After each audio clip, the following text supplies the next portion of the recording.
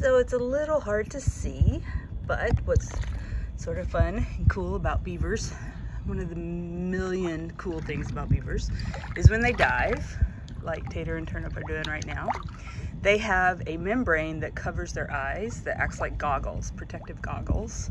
It also helps their eyesight while they're underwater.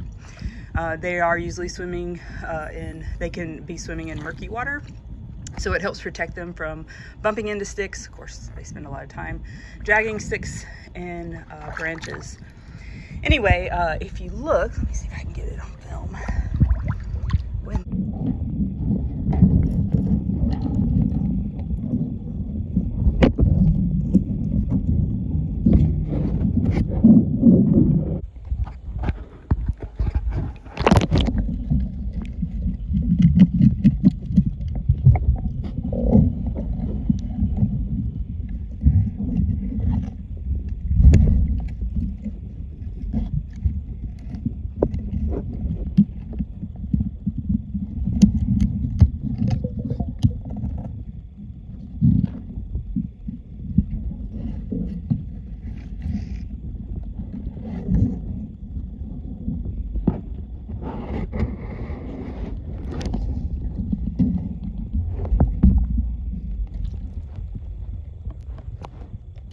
Mm.